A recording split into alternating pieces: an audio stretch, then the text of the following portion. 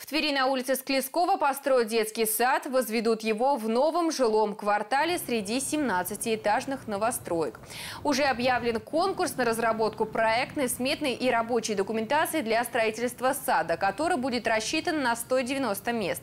Проект должны представить до 29 ноября, после чего чиновники будут заниматься подготовкой к строительству здания. Планируется, что детский сад построят к концу 2020 года.